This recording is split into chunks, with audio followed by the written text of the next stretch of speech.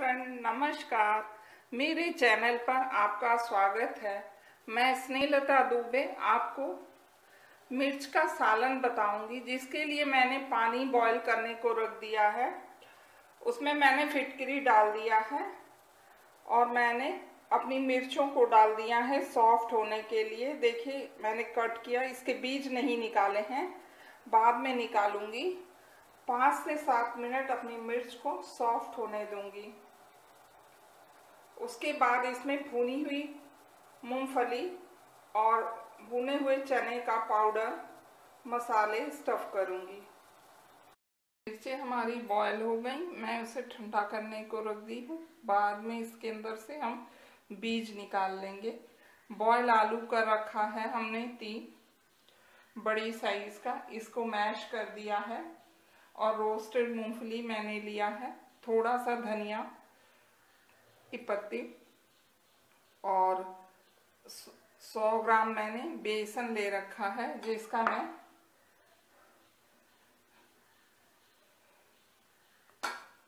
Batter बनाऊँगी।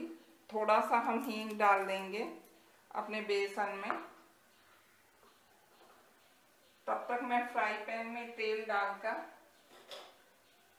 अपने आलू के मैश को थोड़ा सा फ्राई कर लूँगी।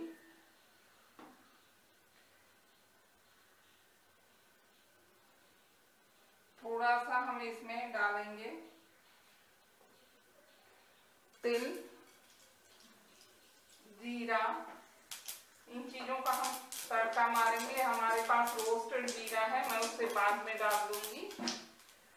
अब मैं अपने आलू को डाल दे रही हूँ। और आलू को हम अच्छी तरह से फ्राई कर लेंगे। इसमें हम थोड़े हल्दी मसाले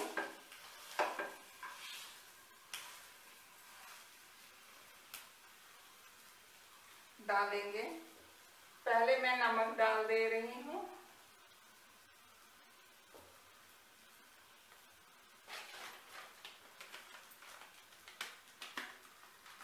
कश्मीरी मिर्च वन टेबल स्पून कश्मीरी मिर्च हमारी सिर्फ़ कलर देती है। इसलिए मैं ऐड कर रही हूँ क्योंकि इसमें तीखापन नहीं है। हम मसाले डालेंगे। वन टेबल स्पून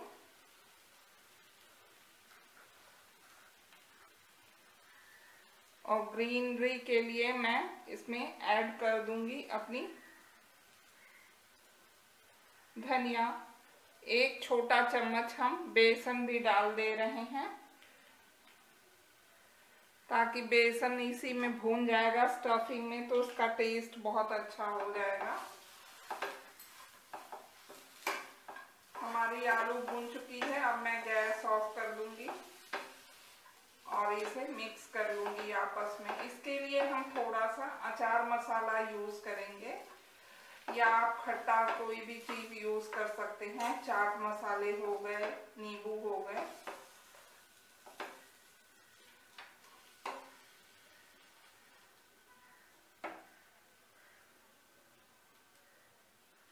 हमारा मसाला ठंडा हो गया है और मैंने बीज निकाल दिया है।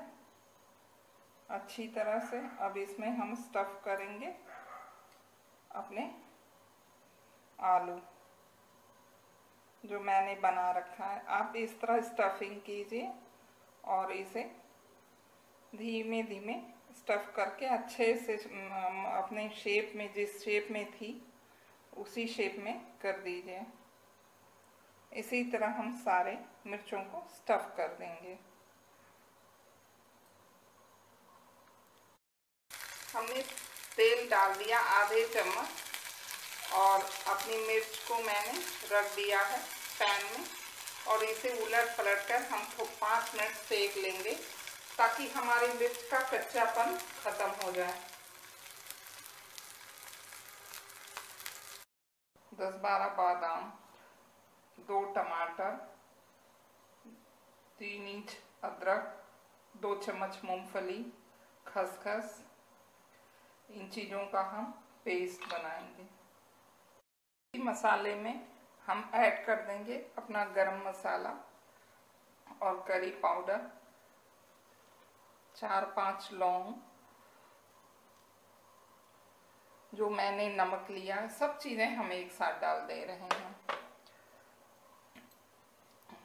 थोड़े से मैंने तिल रखे हैं रोस्टेड इसे भी डाल दूँगी। और इन चीज़ों का हम बारीक पेस्ट बना लेंगे। हमारे अच्छे सी तल चुकी है मिर्च। अब मैं इसे धीमे धीमे निकाल लूँगी। और हम ऐड करेंगे ऑयल इसी पैन में।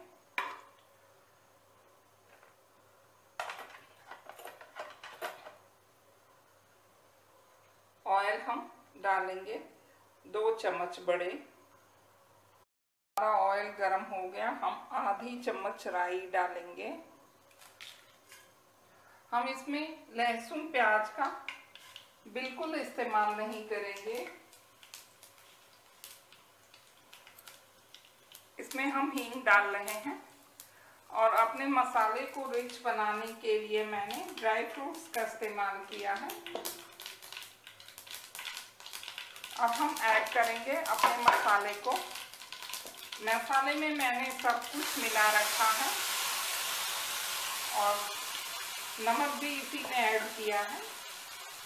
इसे हम चलाकर अच्छी तरह भून लेंगे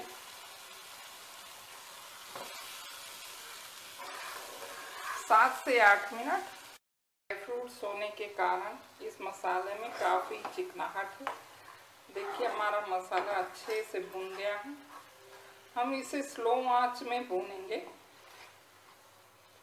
क्योंकि जो ड्राई फ्रूट्स हैं, वो अपनी नेचुरल ऑयल स्लो आँच में ही बाहर निकालते हैं। अब इसमें मैं 400 ml पानी डाल दूँगी।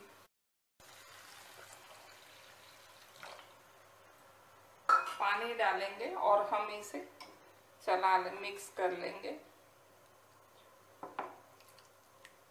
इसे हम पाँच से सात मिनट फिर बॉईल कर देंगे। अब आँच आप तेज भी कर सकते हैं तो तीन मिनट में आपका मसाला बॉईल हो जाएगा। स्लो में करेंगे तो पाँच मिनट लग जाएँगे। हमारा मसाला बॉईल हो रहा है। मैंने मखाने रखे हैं, आधी कटोरी। मैं इस मखानों को भी इस मसाले में ऐड कर दूँगी। और मसाला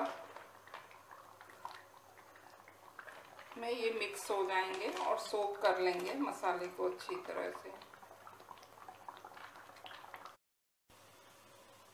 हमारे मिर्च का सालन तैयार है, मैं इसे सर्व करना स्टार्ट करूँगी। धीमे धीमे हम मिर्च को उठाएँगे और मसाले को अपने बाउल में डालेंगे। मैंने मखाने और ड्राई फ्रूट्स में बना मिर्च का सालन तैयार कर दिया है।